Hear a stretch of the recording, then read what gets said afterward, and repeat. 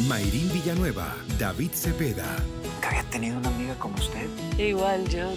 Ariadne Díaz, Danilo Carrera.